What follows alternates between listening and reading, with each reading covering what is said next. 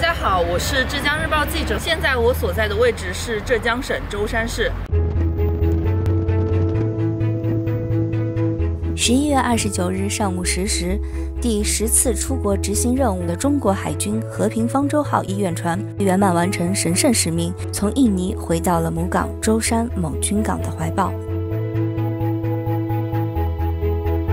十一月十三日，正在印尼执行和谐使命二零二二任务的中国海军和平方舟号医院船迎来了第七个和平宝宝，孩子的父母给他取名叫小方舟。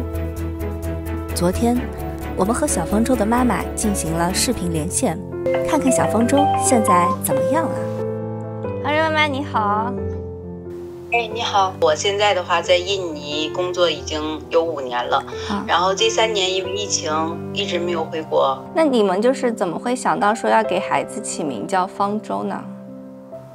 嗯，主要是取名小方舟，就是因为让他记住和平方舟这个医疗船，船上所有的那个就设备都是最先进的。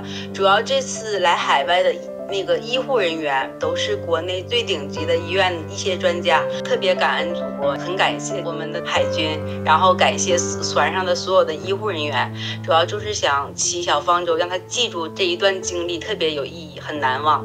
就是小方舟他现在的状况怎么样？我们大家也比较关心。我把镜头给你转播过去。小方舟现在的话，除了吃就是睡，还胖了几斤，还胖了一点点。哎呀，好可爱。现在灯光比较比较暖一些，感觉脸上比较黄，其实他很白。现在看起来特别的壮。这次除了接生小方舟，我们还了解到。